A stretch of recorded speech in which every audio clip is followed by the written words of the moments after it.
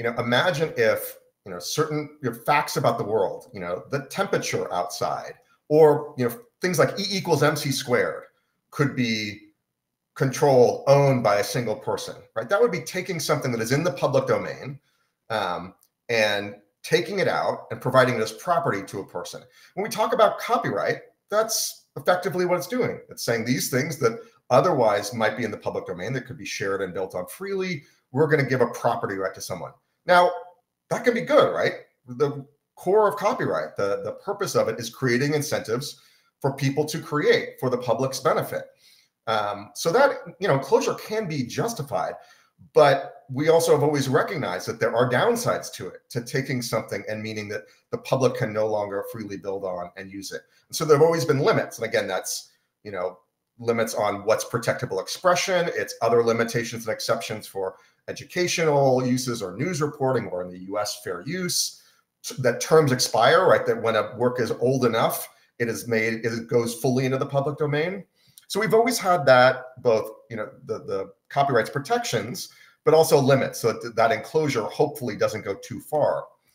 And when people, you know, talk about when it is ethical, let alone legal to use some piece of information, we always need to ask, right? Is it ethical for people to enclose this information? When is it unethical to stop people from using, you know, the temperature, you know, saying repeating that the temperature outside or equals mc squared or using that basic building block of language or music? Because that information, that knowledge, those cultural artifacts ought to belong to the public. So, in terms of principles, where does that leave us? I think from a copyright perspective, the first key principle is, you know, is this protection necessary, this enclosure necessary in order to encourage creativity for the public's benefit, right? If creativity is already booming, it's abundant, it would happen anyway, and this doesn't interfere with it, then th- there should not be an issue there. Um, I think the second sort of related piece, um, once you go a bit deeper, is is the use involved about facilitating new creativity or about communicating an expression that directly substitutes for the existing work that it's using?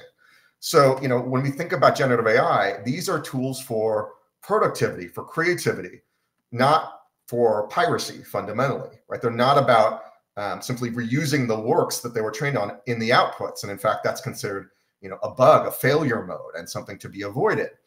Um, that doesn't mean that there can't ever be issues of infringement in the outputs or even in the models, right? You could imagine a large language model that's trained on all of Harry Potter for the express commercial purpose of helping you create and sell your own Harry Potter books. Right? That would be a very different fact pattern than you know what you see with ChatGPT and, and and and the like, right?